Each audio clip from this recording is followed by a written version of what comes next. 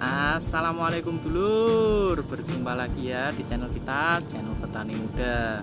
Ya dulur aku mau ngucapin terima kasih Bagi dulur-dulur yang sudah subscribe. Bagi dulur-dulur yang belum subscribe Aku minta tolong lur ya Minta tolong di subscribe. Salam Tani Muda Salam Tani Muda ya Nah pagi ini kita mau membahas tentang apa ya dulur?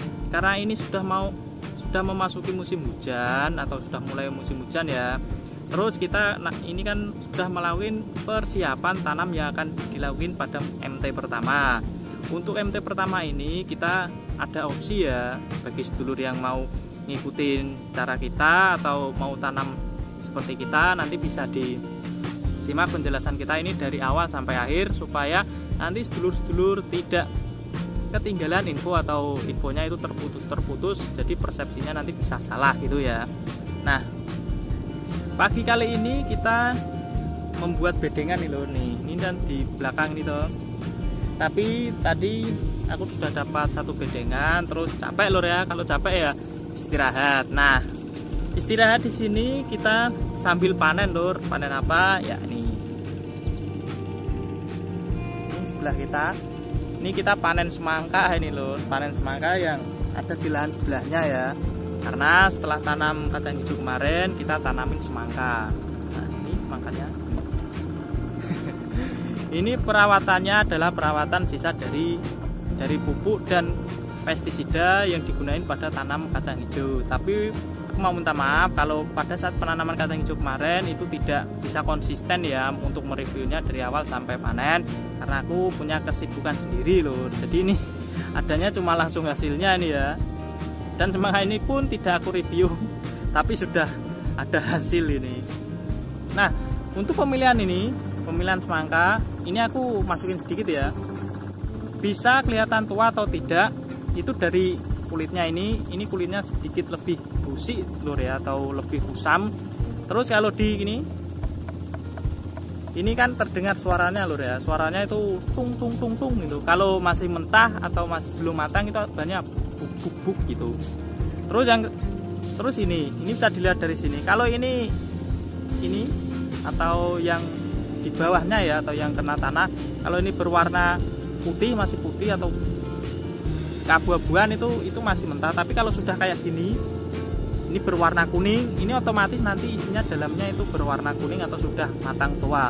Dan manis tentunya lur ini tadi aku sudah buka sedikit ini baru di nganu tadi sudah nih di kerubutin apa itu?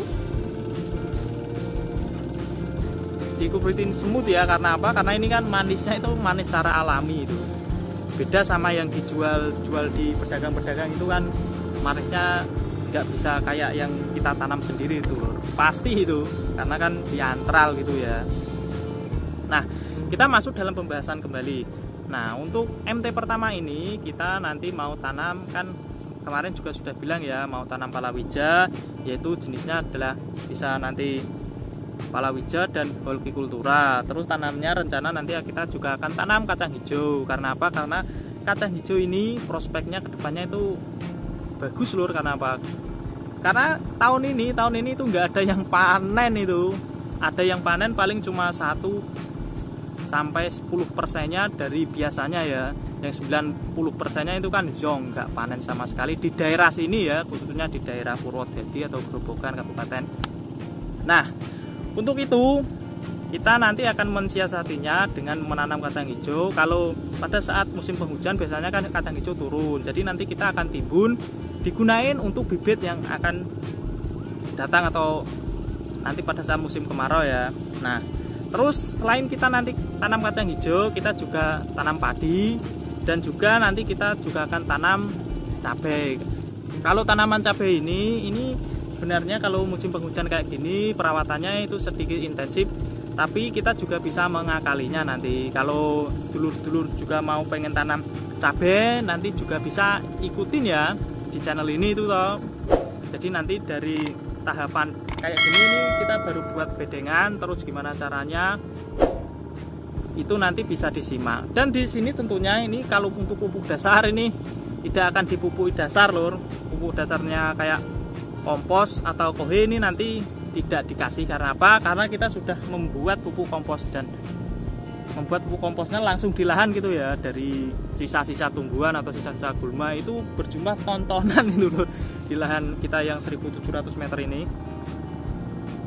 Nah kita jadi harus apa itu bisa mensiasati ya gimana supaya lahan kita yang ini yang di seluas 700 meter persegi itu bisa menghasilkan hasil yang lebih banyak dengan cara yaitu kita harus bisa tumpang sari lur. Kalau kita cuma mengandalin satu jenis tanaman itu kita biasanya bisa drop dropnya itu gini. Kalau harganya pas mahal ya kita untuk besar tapi kalau pas zong atau pas down itu kan kita pasti hasilnya itu malah untuk menutupi biayanya itu masih kurang. Nah kalau kita nanti ini mau kita sistem tumpang sari otomatis nanti kan hasilnya itu kan bisa menutupi yang harga komoditas yang menurun ya. Nah terus ini juga bisa dilihat loh ya nih. Ini cara pembuatan bedengannya itu kayak gini. Ini sebenarnya bedengan kayak gini ini masih bedengan setengah jadi. Kenapa bisa dibilang ini masih bedengan setengah jadi? Ini nanti masih akan ditambahin lagi tingginya. Ini walaupun ini sudah sekitar 25 sampai 30 cm dari permukaan air itu tetap kita nanti akan tinggiin sekitar ditambahin 5 sampai 10 cm lagi lur. Supaya apa? Ya supaya lebih amannya gitu kalau terjadi hujan lebat gitu ya. Nah terus untuk pembuatan bedengan ini ini kalau kita membuat satu lajur itu alangkah baiknya itu setiap 20 sampai 25 meter itu dipotong lur. Nih kayak gini tiap 20 sampai 25 meter ini kita potong supaya apa? Supaya nanti kalau ada yang terserang di bedengan satu itu tidak menular ke bedengan yang lain. Karena biasanya kan jalurnya kalau terserang bakteri kan dari bawah juga bisa ya karena kan lembab bawahnya atau perakaran itu tuh. Tapi kalau sudah di bedengannya diputus kayak gini ini diharapkan nanti kan penyebarannya itu pentoknya di bedengan yang terkena saja ya nggak menular di bedengan yang lain. Untuk luas bedengan karena ini di musim hujan ini bisa dilihat ini luas bedengannya itu sekitar 80 sampai 90 cm kenapa? Alangkah baiknya kalau kita mau menanam di musim hujan itu bedengan yang kita gunain itu lebih kecil lur. Jangan lebar-lebar. Kalau bedengan terlalu lebar nanti otomatis kelembapannya pun itu akan lebih tinggi daripada bedengan yang kecil. Kalau bedengan yang kecil kan kalau ada air hujan dari atas itu merembesnya kan lebih cepat. Dan keringnya pun itu dari samping sebelah kanan kiri bedengan kan juga lebih cepat. Setelah kita ini nanti bedengannya sudah jadi apakah itu nanti langsung bisa ditanamin tidak lur. Kalau sudah bedengannya ini nanti sudah jadi ini nanti langsung kita kasih penetralan dari pH tanah. Untuk penetralan pH dari tanah ini ini bisa menggunakan dolomit ataupun bisa menggunakan kapur pertanian yang lain ya. Kapur bangunan pun itu juga bisa. Yang penting kapur itu karena apa? Ya karena kandungan CA nya itu amat sangat tinggi. Setelah itu nanti kita kapur apakah sudah selesai? Ya belum. Setelah nanti kita kapur itu nanti kita akan apa akan tutupi lur atau cacah atau di kalau manual pakai cangkul gitu ya kita tutup kembali. Itu tadi kan dari pas awal aku sudah sebutin tambah 5 sampai 10 cm ya yaitu kita tutup kembali.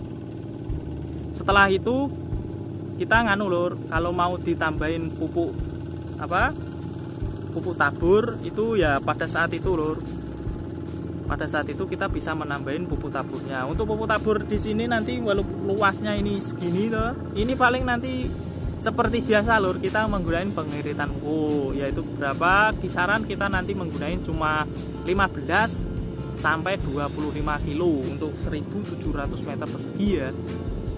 Ini buat pupuk dasar yang tanaman holki loh ya holki ataupun palawijanya karena apa? Karena ya untuk menambah penghasilan ya. Atau untuk mengurangi modal yang kita keluarkan. Terus kalau terus kalau sedulur dari awal ini sudah bimbang atau ragu itu bisa menyimaknya dulu dari awal ini kita pembuatan bedengan terus nanti kita mengolahnya terus tanam dan sampai panen panen itu bisa disimak supaya apa? Supaya dulur-dulur itu tahulah perkembangannya dan juga nanti bisa menyontoh di musim depannya. Ataupun ini kalau nanti langsung mau ikutan kayak tanaman kita itu juga tidak masalah. Yang penting tahu triknya gitu lur ya. Kalau nanti ada apa itu kendala-kendala kan bisa ditulis di komentar ini ya atau di video ini. Nanti kita bisa ngasih solusi sepengetahuan kita lur ya. Jadi kita sharing-sharing nanti nah dulur ini sudah terlalu panjang videonya terima kasih bagi sedulur-sedulur yang sudah mensupport channel ini dengan cara mensubscribe-nya. Jangan lupa bagi sedulur-sedulur yang belum subscribe, aku minta tolong, minta tolong di subscribe lur. Jangan lupa like-nya ya, sampaikan gratis. Salam tani muda, salam tani milenial. Assalamualaikum.